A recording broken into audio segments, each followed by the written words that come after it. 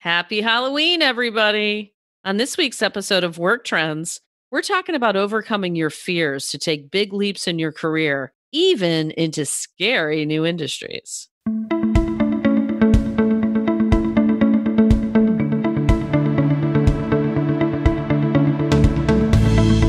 Welcome to the Work Trends podcast from Talent Culture. I'm your host, Megan M. Biro. Every week, I interview interesting people and brands who are reimagining work. For more information, be sure to check us out at talentculture.com and join us live on Twitter every Wednesday at 1:30 p.m. Eastern using the hashtag WorkTrends. I'm joined by my friend and co-host Kevin W. Grossman. Happy Halloween, Megan and Biro. Boo! Haha. what are you guys dressing up as this year? Because I know I'm going to wander on over to your Instagram or Facebook account, and there's going to be some big surprise there. You're going to see it all. You know me. I'll be sharing it as soon as as soon as we got them all. Uh, we're all dressed up. So my youngest is going to be an angel this year. That's she's been all about that, and my oldest, uh, who will be definitely be a horror fan someday.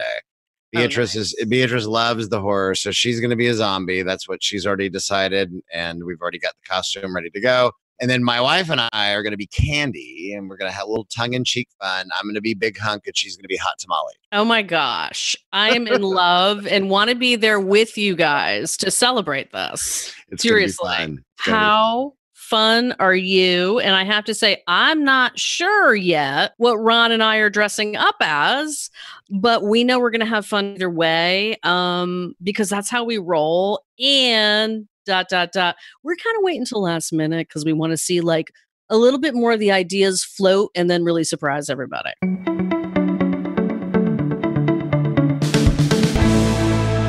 Since today we're talking about all things spooky, we're going to talk a little bit, a lot about something a little bit more controversial, an industry that can scare some people, even a lot of people, maybe some of our listeners as well. And that's the cannabis industry. And that's marijuana people, okay? Mary Jane. Yes, it is now a legalized industry and thriving in more states like California and now in Canada, and it continues to to expand throughout. It's not legal in all 50 states in North America, but it is uh, growing on a regular basis. Now, it doesn't scare everybody because I was just reading some of the latest stats on the industry. Now, Megan, did you know that the global legal marijuana industry will reach more than 20 billion by 2025?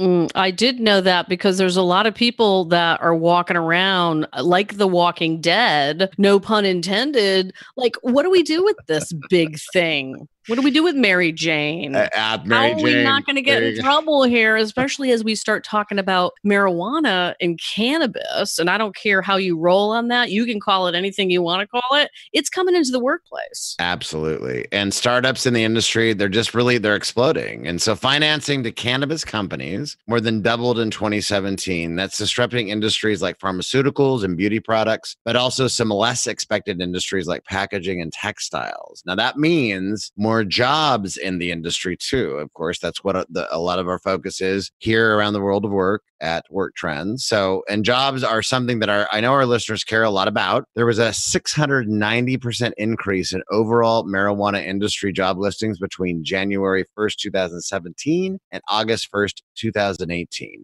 Wow. That's got my attention and I'm super excited about it. And that makes me want to hear more from our first guest who has one of these jobs.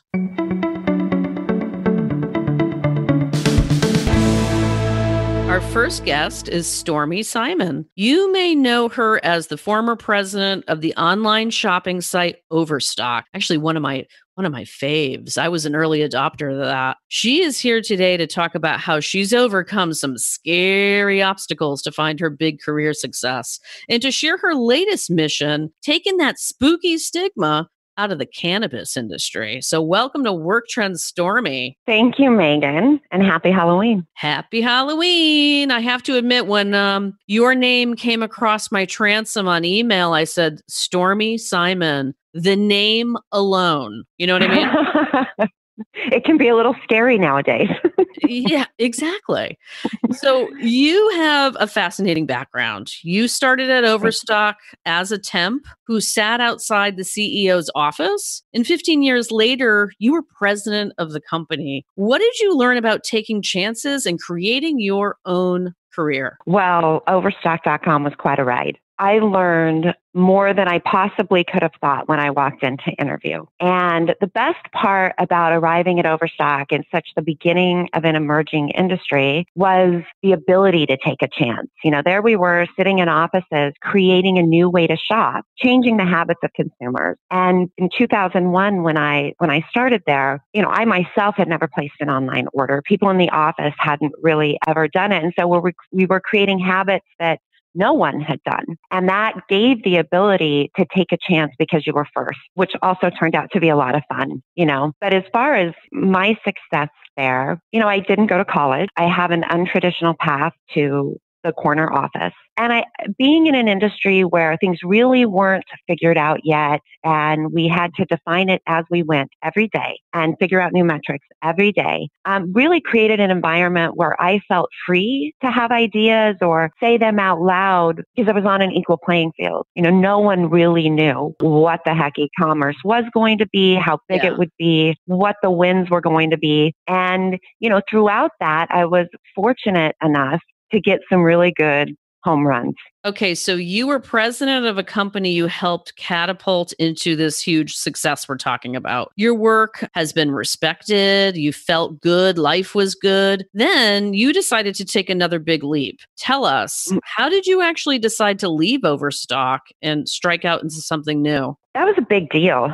Um, and it took a long time. It was one of those multi year struggling back and forth decisions. You know, wasn't something I took lightly. And all of us get frustrated at work. So I knew it was beyond that. You know, 15 years is a long time. And when you start as a temp and really an entry level position and you go through the, we were $18 million the year I started. And the year I left, we were about 1.9 billion. So wow. the epic growth and rise and build, the number of employees and space and all of that is a super exciting time. And 15 years later, I had done just so much within that company and built a lot too that I started thinking, you know, then I became an empty nester. I became, yeah. I, I, I, don't really say the G word, but my son had a daughter. And those oh, things. oh, come on. You know, I started. You're, you're in a safe place. I can't, I can't do it. Yeah. it's Lala. I get called Lala. That's cool. Yeah, it's a good it's a good save. I think people know what it means anyway. um, but I really, it wasn't that I found myself unhappy. I wasn't as happy. I started becoming interested in things that were going on outside of the office, and the legalization of cannabis was one of those things. Mm-hmm. You know, when Colorado decided to go recreational and just change the way that this plant was viewed by the world. My mind went to the prohibition history books and the way things evolved and how the country had to figure out a way. And, you know, at that point, it's alcohol, right? So we're talking about something very different. But mm-hmm. the country mm-hmm. had to figure it out. Books were written, people participated in history, and that's what I felt was going to happen with this plant. Now, when I first started thinking about leaving Overstock, I had no idea I was just thought, what would I go do? Where would I go? Would I live here? And what I decided over the course of time was if I was going to go to another e commerce company right now and do the same thing, why would I leave? Yeah, no, it doesn't make and, You've had that. You've been there, done that? yeah. that. And then when you start a new job, we all know it's hard. You have to go in, prove yourself, find your groove, sure. find your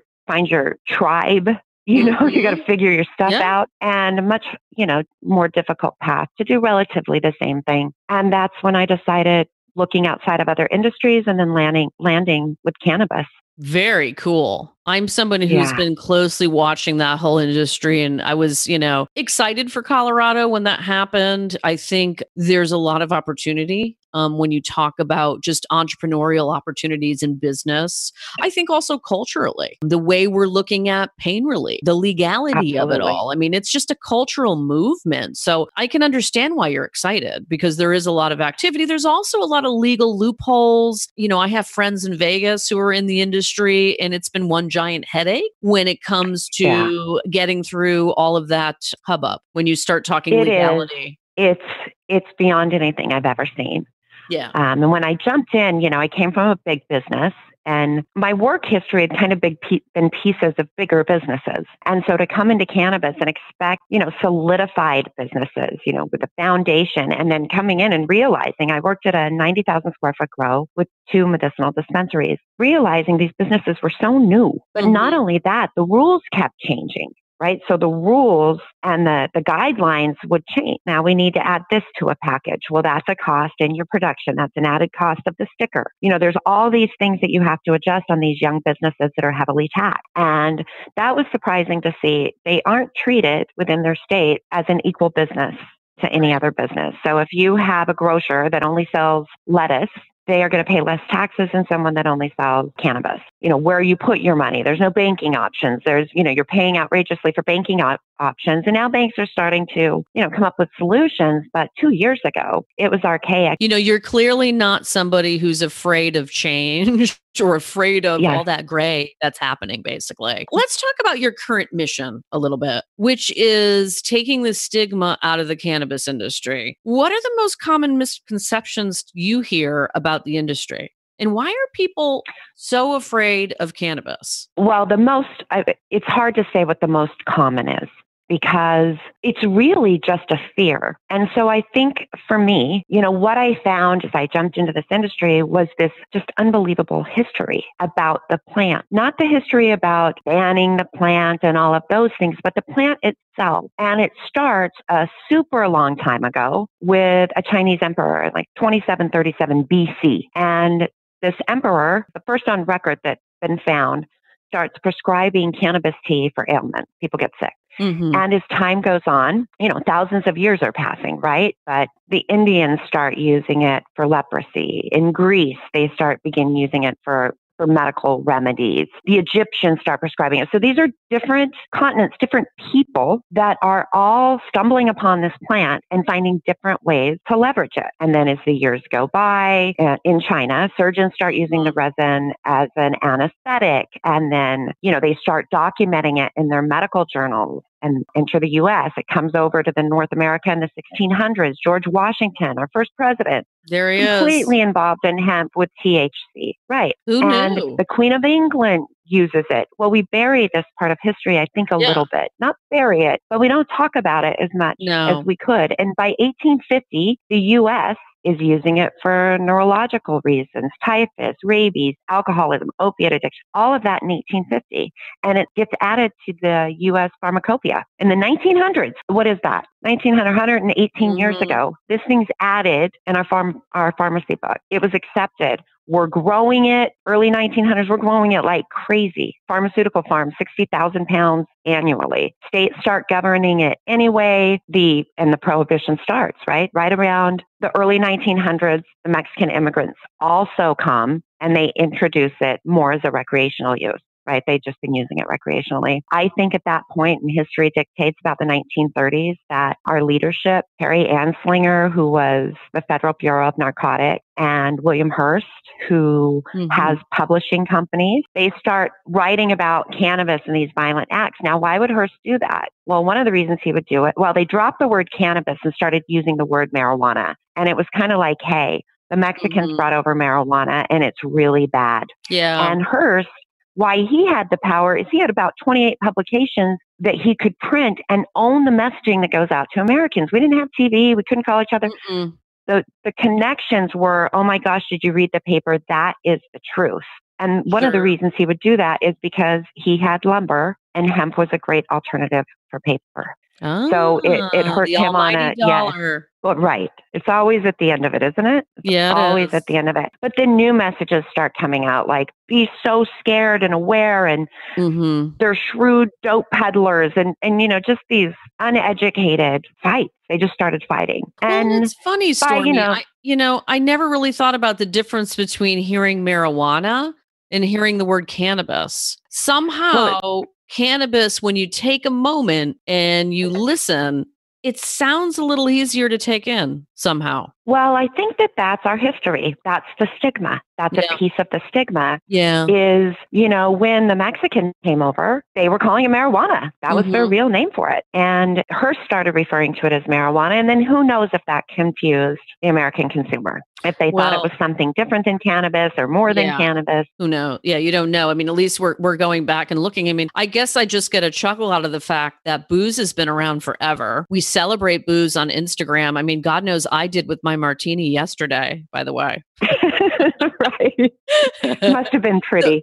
it was really pretty. I'm at Megan M. Biro, by the way, on Instagram, Stormy, if you're over there, let's have some fun. Um, yes. But yeah, I mean, it's just, it is interesting. I know there are a ton of uses for the cannabis plant beyond what most people know. Tell us some of those. This, the hemp plant, right? So hemp, it's out, it's unbelievable what this plant can do, right? In addition to our endocannabinoid system actually being named after the cannabinoid system of this plant because we, we put them together after the plant was named. So in addition to our bodies being named after this plant, it's good for, I mean, you can use it in food, salad dressing, paper. Everybody knows the textile industry, but apparel, think about it for diapers, fine fabrics. We haven't even gotten there yet to where we can turn it into some silkies, but it can be, the oils can be in your soap, your shampoo, granola food. You can eat the seeds and it's very healthy for you. I hear varnishes and oil paint. It's pretty much everything from packaging to insulation to hempcrete. Sure. There's a new product out called hempcrete. So I think once we grow enough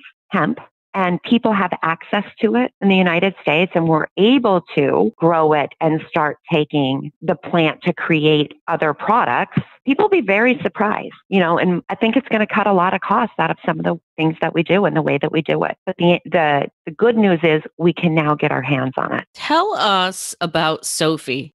Oh, little Sophie Ryan. I'm actually here in LA to see Sophie and go to an event today. To talk about Sophie is to talk about her parents. Um, Sophie was diagnosed with a brain tumor that sits on her optic nerve. Now, I would try to pronounce the name, but I normally mess that up. You know, this tumor will grow on Sophie's brain until Sophie stops growing. So the goal is to keep it small and get her through adulthood. Sophie's parents, when she was diagnosed, were devastated. This is actually outlined in a movie called Weed the People that was just released. Um, was at some film festivals, but Weed the People uh, produced by Abby Webb Epstein and Ricki Lake, told part of Sophie's story within this movie. But uh, Tracy, her mother, felt that chemo was so harsh on this little eight month old baby and began researching cannabis and found people that were familiar enough with the plant as a medicine that had done things on their own because there is is no you know medical support here in the state. And by golly she started figuring out what dosage to give her daughter. Yeah. and now the results for sophie have been great. Doctors have left western medicine to follow this girl's story what I want to say is at no point is Sophie and other people that I know with ailments who utilize cannabis to augment their treatment. Sophie receives medical treat, medical or Western medicine just like anyone else is. The difference is she augments that with cannabis and they're seeing great results. Mm-hmm. And again, um, you know, and as importantly, it's giving everybody hope for Sophie. And that's not for nothing. Sophie and everyone. Yeah. No. Right. You know, that is a it's a big deal. Cannabis and children, people want to that's a tough conversation to mm start. Yeah. Until you're talking with parents that are fighting for their child's life. Yeah. And then it's not so tough to have. No. In fact, you're grateful there's another alternative. You're hopeful every time we learn one more thing about it. And also, if you can stop a child, a human, not just a child, anyone from starting on an opiate regime or regimen an opiate regimen. And instead of a plant based potential painkiller, I'll take the deal any day. I'll start there. And that's the same with children. You know, you, you don't want to give them the heavy drugs that are going to stay in their system or, right, right. you know, create a, addictive behavior. You know, that happens at any age. So I think, you know, Sophie is, is paving a way for us to all have the conversation about what we do give our children and why a plant medicine would be different than, you know, the nitrogen gas they might breathe when they get their wisdom teeth out or pain meds they might take for something else. I'm going to take out my crystal ball for a moment. Talk to us about your predictions for the industry? Well, that's really hard. And I say that because two years ago when I stepped in, I thought one thing. And then every six months, it's kind of changed, including where my the shiny object for whatever passion I have or whatever vertical of this market I find interest in. But the future, I actually think ultimately the federal government's going to approve this plant as a medicine. That's ultimate. I hope that state, and this is a tricky, controversial thing to say, but I hope that states are brave enough to go recreation go recreational yeah. before that happens. And the reason I say that is there are all sorts of benefits happening in states that are legal, both medicinally and recreationally. The reason I think recreational is important is because the people that have figured this plant out to date haven't been the federal government. The federal government holds a patent on one of the compounds in this plant, yet they say there's no healing abilities, but they hold the patent. We're looking for approval from people that have, you know, get their money in place first. That's my field. Well, and plant. I want, and Stormy, I want everybody to know you can do that without having the psychoactive ingredients that change your brain and your body chemistry as well. I was just right? yes, I was I just going to get to that. Yes. Here. It is an important caveat, but it's one when we talk about that one compound of cannabis that gets you high, we're leaving out 430 plus compounds that we don't talk about. We talk about one piece of this plant. And yes, there are ways, you know, get the plant in the hands of people who can research it. It's the most important thing. And the states are going to, the states are allowing that to happen. Talk to us about job growth. I'm hearing more and more about really interesting roles that are popping up in the cannabis industry. Well, from a couple years, I guess it was about a year ago, 280,000 jobs to create, 280,000 jobs by 2020. Isn't crazy? Awesome. Uh, by 2025, total sales expected to exceed 24 billion. 24 yeah billion. Now, th- what this doesn't say is if it's medicinal only or recreational only and how they're getting to that without knowing what states are participating. But in 2016, the medical market, $4.7 billion. Crazy numbers. Right?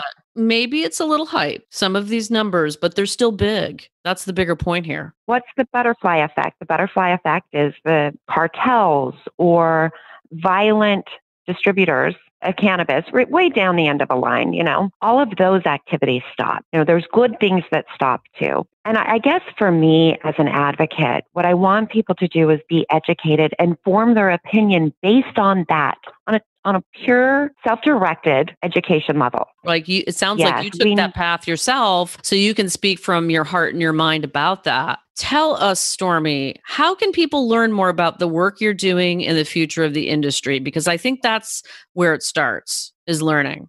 Yes.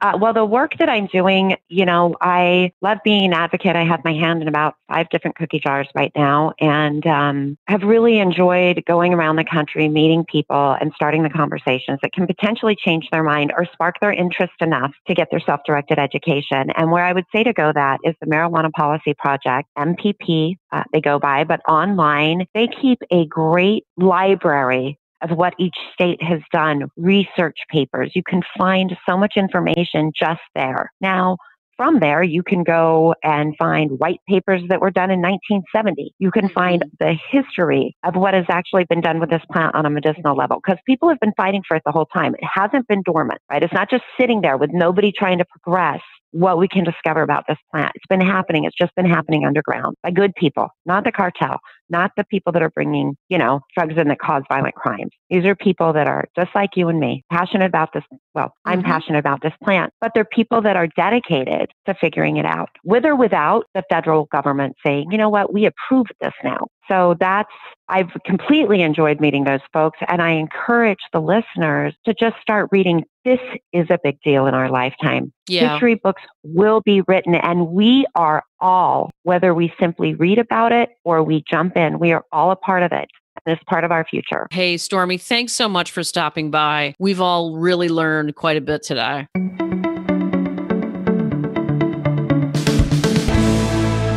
Wow, Megan, what a fascinating conversation with a real trailblazer. I wanted to learn more about the cannabis industry, so I called someone who knows a lot about the ins and outs of operating a cannabis company. Keegan Peterson started the company Wurk, that's W U R K, to manage all the back office operations and challenges that cannabis companies face today.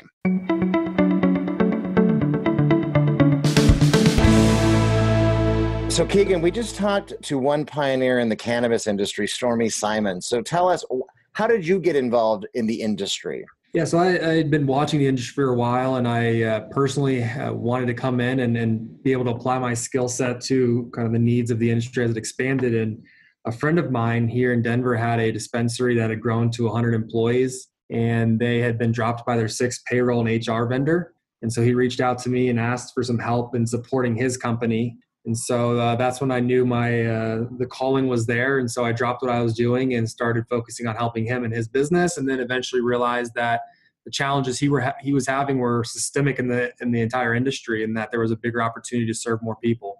That's awesome. And and by the way, we know regardless of where it's actually been legalized, and I just was telling you before we started, uh, I live in California and now Canada, the whole country, right? Yep. Has just legalized marijuana and the consumption, and the sale from a consumer standpoint. But there's still, again, this a heavy stigma that's attached to the cannabis industry. So, what are some of the unique challenges, um, obvious ones as well as maybe not so obvious, that cannabis companies face today? Yeah, if you're if you're looking through the the lens of a, cannabis owner or operator, um, one of the challenges is that each state has a, a, different set of regulations that they have to comply with, and those uh, regulations are very unique to the cannabis industry, and they're very complex and they change very frequently. And if you run a business in multiple states, then you have multiple sets of regulations that you've got to comply with, or your doors get shut down. So that's the biggest issue. Uh, banking is very limited in the industry. Probably 50% of the space has a bank account, and the other 50% is still operating in cash. Uh, and then the last main challenge for these businesses is taxes. Uh, there's a provision out there called 280E, which we can dive into if you'd like to, or, or we can uh, save that for another time but effectively it uh, hamstrings these businesses from be, being able to deduct certain tax uh, expenses. And most of these businesses are paying 80%, 90% effective tax rates, which is starving their business. So that's and that's not by accident, right? Unfortunately. The with the tax piece of it? Yeah, with the tax piece of it.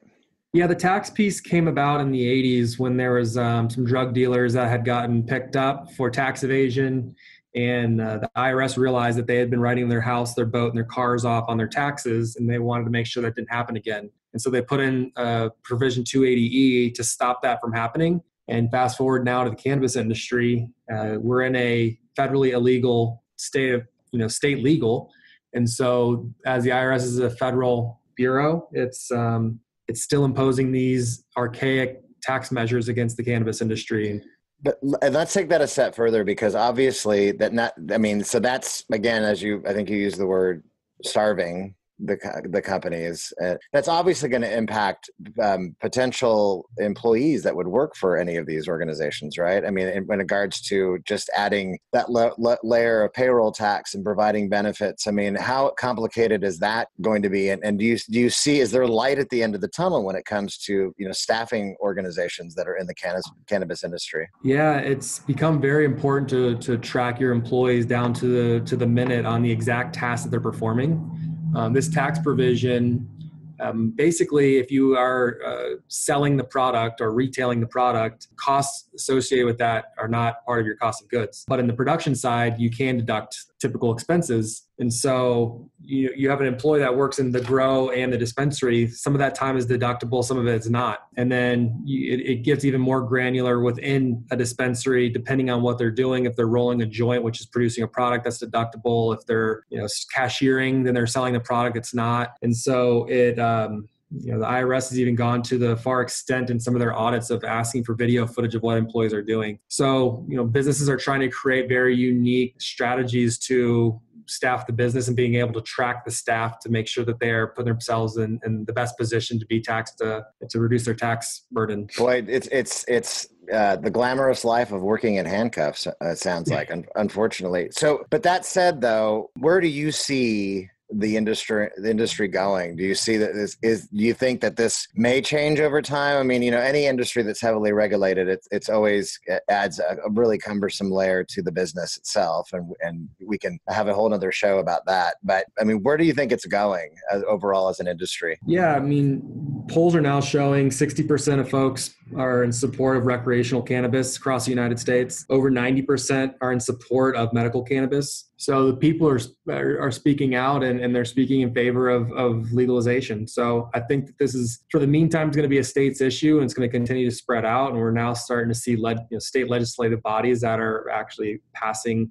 cannabis legislation. So um, I think that that we're we're on the path to legalization. How long that's going to take is still up in the air, but I don't think there's anything stopping this train at this point in time. And and, and at the end of the day, you, this this product is helping people. It's helping save lives. It's helping children, and so it's making a real impact in, in the communities that we are living and serving. So uh, it's going to be a hard thing to stop at this point in time, which is exciting for everybody. Oh, I'd agree. I'm, I'm a total proponent. I grew up in a very conservative family, and God rest my dad's soul. I could talk about him, and I'm sure you wouldn't mind even today. He was a, a, police officer and a police detective for 32 years in a small town where I grew up in the Central Valley of California. And one of the things that he was always very progressive on it, it always struck me as as odd as that is was the legalization of any any and all drugs, marijuana, narcotics. Very progressive.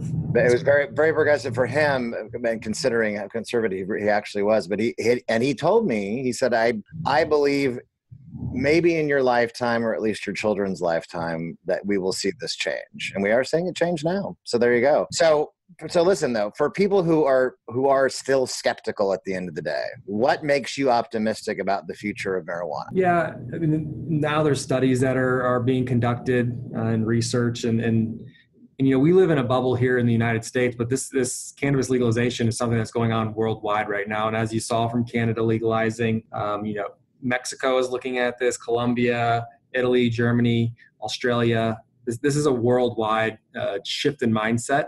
And so, and, and, and it's hard, you know, I think people are now starting to get the personal stories of their family member that is suffering from some kind of condition and, and cannabis was the last resort. Mm-hmm. And it changed their life or it gave them, you know, a couple days of life where it was uh, as enjoyable as possible it's going to be hard for people to turn a blind eye anymore and say you know they don't have the experience so they don't they don't understand and therefore it's not good. Now everybody has somebody in their life that has had an experience with it. So i think that's what's going to keep on driving this force. And the more stories that get shared the more this is going, you know, the stigma is going to change. Yeah, I, I probably have. I'll end on, on one final personal note too. That it pro and it, obviously I think this also had an impact on my father. Was my mother had suffered long term autoimmune disorder as well as uh, lots of neurological pain, and there was there were times when it, this was the only thing that could help her as well. So there you go. Listen, um, this well, has been. Go ahead. Real quick, there's there's actually a film coming out. I, I had the opportunity to uh, work with Abby Epstein and, and, Ricki Lake to do a documentary, and I, I just kind of supported it. But uh, the film's called Weed the People, and it's six kids who are are going through chemo and using cannabis to help them through that process. And, and they uh, document their lives over six years of going through that. And it's going to be airing next year. It's now doing private screenings all over the United States. And it's things like that and, and stories like your mom and your dad that are, are what's changing people's perspective. So I highly recommend folks check that out. It'll uh, show a personal story of uh, six young children that are really suffering, and, and re- this was really uh, helpful to them in their lives. Well, right on to that. And that's what's it, what's the title of the film again? Weed the People. Weed the People. Very nice. All right. Well, Keegan, it's been a pleasure talking with you. And thanks again so much for being on Work Trends. Thank you so much.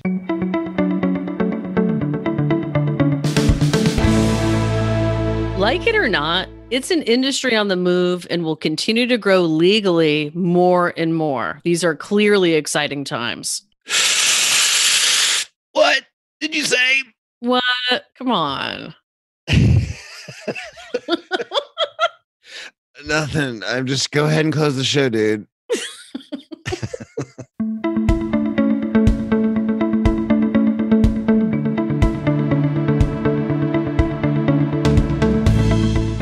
Listening to Work Trends from Talent Culture. Join us every Wednesday at 1:30 p.m. Eastern for a live Twitter chat with our podcast guest.